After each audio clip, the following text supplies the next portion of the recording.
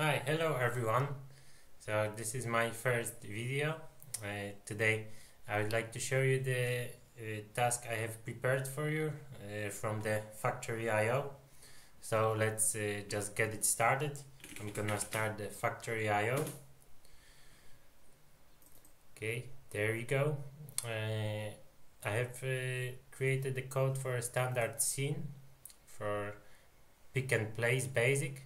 So if we're gonna choose this one. Uh, let's talk a little bit about the setup that we have here. So we have here two conveyors entry conveyor and the exit conveyor. Uh, idea is that uh, here we are gonna have a parcel coming in and we would like to pick up and drop it on the exit conveyor.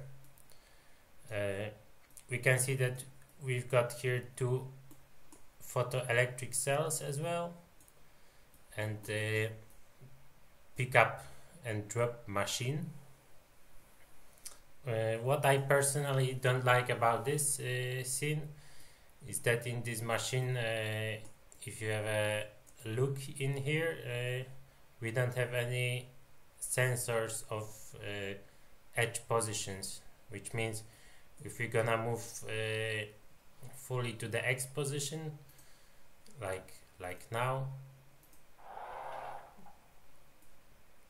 We never know if we have reached the position or not. So we don't have any limit switches or any sensors that could tell us uh, that we are in the let's say extended position. Same goes with the uh, initial position.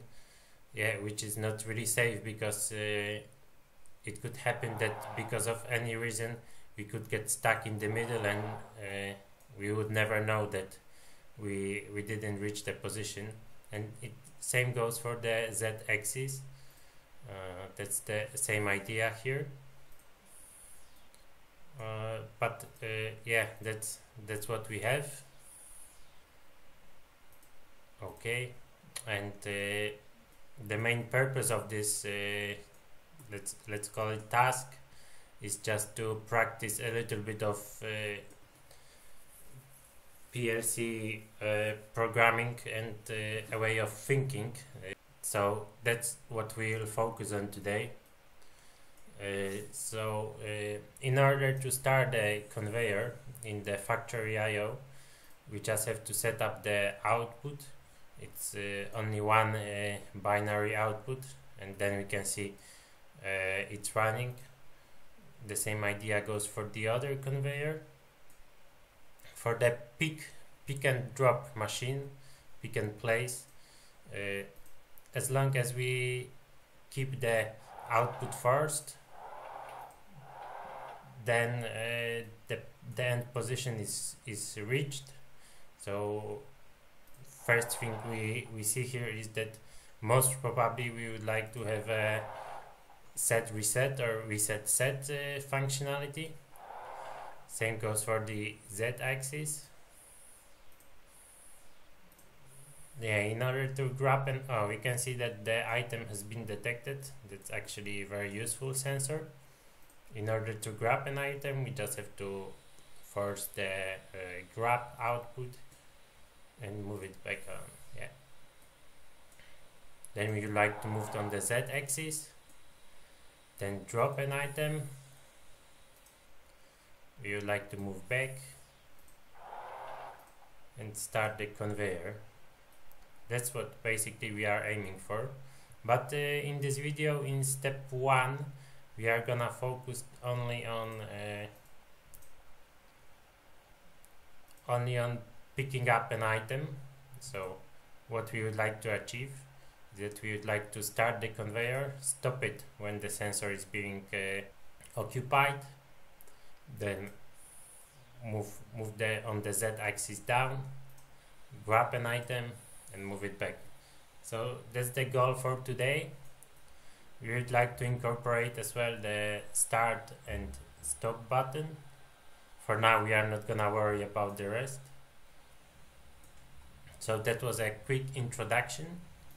Actually, the controls part was done in Control IO. That's the uh, some kind of inbuilt uh, PLC in the factory I/O. Mm, so in order to start an instance of it, uh, we gotta click here in the bottom right corner. From the drivers, choose the control I/O. It's starting. Okay, there we go. I'm gonna open my uh, project that I've created before. So that's that's how it looks. Uh, maybe a couple of words how how to use it. Uh, here we have all of the tags defined uh, which we have in the factory IO.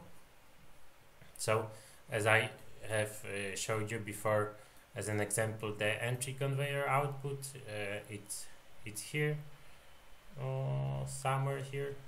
So if I'm gonna set it, set it, then the conveyor is gonna start moving. All of the outputs are in the red colors. All of the memory bits are violet. And all of the sensors are uh, green color. That's it for the first video. Thank you guys for your attention. I'm really curious about your opinion let me know what you think and uh, in the next video we are gonna focus more on the uh, on the programming part for the for this scene